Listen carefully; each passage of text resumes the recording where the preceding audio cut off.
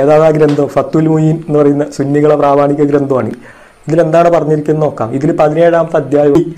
മൃതശരീരത്തിന്റെയോ മൃഗത്തിന്റെയോ യോനിയിൽ ലിംഗം കടത്തിയാൽ വ്യഭിചാര ശിക്ഷയില്ല. അതായത് അത് വ്യഭിചാരമല്ല അത് അനുവദനീയമാണ് എന്നാണ് പറഞ്ഞിരിക്കുന്നത്. ഇതാണ് പറഞ്ഞിരിക്കുന്നത്. ഫത്തുൽ മുയീനിലാണ് പറഞ്ഞിരിക്കുന്നത്. ഫതുഹുൽ മൊയ്നിൽ ശിക്ഷാ നടപടികളെക്കുറിച്ച് പറയുന്ന അധ്യായത്തിൽ വ്യഭിചാര ശിക്ഷയുടെ പരിധിക്ക് പുറത്തു വരുന്ന കാര്യങ്ങളെക്കുറിച്ച് പറയുന്ന സ്ഥലത്താണ് ശവഭോഗത്തിനും മൃഗരതിക്കും വ്യഭിചാര ശിക്ഷ ഇല്ല എന്ന് പറയുന്നത്.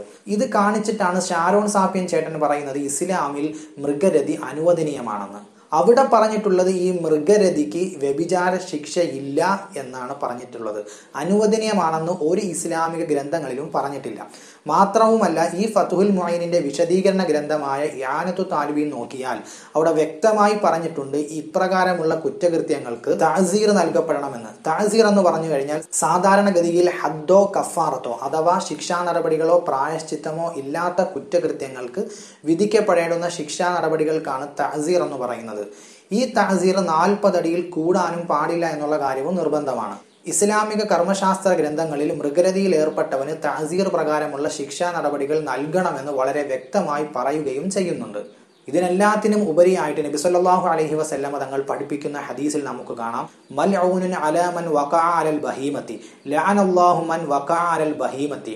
മൃഗങ്ങളുമായി രതിയിലേർപ്പെട്ടവൻ ശപിക്കപ്പെട്ടവനാവുന്നു. അവന്റെ മേൽ അള്ളാഹുവിന്റെ ശാപം ഉണ്ടാകുന്നതായിരിക്കും തുടങ്ങിയ ഹദീസുകൾ മുസ്നദ് അഹമ്മദിൽ ആയിരത്തി എണ്ണൂറ്റി എഴുപത്തി അഞ്ചാം നമ്പറിലും രണ്ടായിരത്തി എണ്ണൂറ്റി പതിനാറാം നമ്പറിലും നമുക്ക് കാണാൻ കഴിയുന്നതാണ്. ഈ പറഞ്ഞതിൽ നിന്ന് നമുക്ക് വളരെ വ്യക്തമായിട്ട് മനസ്സിലാക്കാൻ കഴിയുന്നതാണ് മൃഗരതി ഇസ്ലാം അനുവദിക്കുന്ന കാര്യമല്ല. മാത്രവുമല്ല ശിക്ഷ ലഭിക്കപ്പെടേണ്ടുന്ന ഒരു കുറ്റകൃത്യവുമായിട്ടാണ് ഇതിനെ കാണുന്നത്. എന്നാൽ മൃഗരതിയുടെ വിഷയത്തിൽ യുക്തിവാദികളുടെ നിലപാട് എന്താണെന്ന് കൂടി നമുക്കൊന്ന് പരിശോധിക്കാം. ഓസ്ട്രേലിയൻ ഫിലോസഫറും ഇന്റർനാഷണൽ യുക്തിവാദിയുമായ പീറ്റർ സിംഗർ പറയുന്നത് മൃഗരതി ആവാമെന്നാണ് മൃഗരതി അനുവദനീയമാണെന്നാണ്. രണ്ടായിരത്തി ഒന്ന് ഏപ്രിൽ പത്തൊൻപതിന് സ്പെക്ട് മാഗസിൻ എന്ന വെബ്സൈറ്റിൽ പ്രസിദ്ധീകരിച്ച ഹെവി പെറ്റിംഗ് എന്ന അദ്ദേഹത്തിന്റെ ലേഖനം വായിച്ചാൽ ഈ കാര്യം നമുക്ക് വളരെ വ്യക്തമായി മനസ്സിലാക്കാൻ സാധിക്കുന്നതാണ്.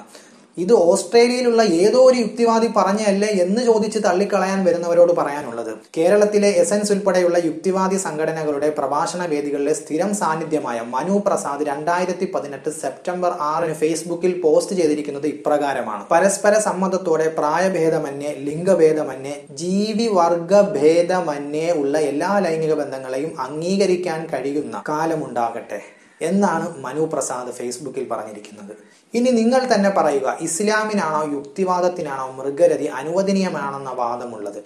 ഈ പറഞ്ഞതിൽ നിന്നെല്ലാം നമുക്ക് പരിപൂർണമായി മനസ്സിലാക്കാൻ കഴിയുന്നത് യുക്തിവാദികളാണ് മൃഗരതി അനുവദനീയമാണെന്ന് വാദിക്കുന്നവർ.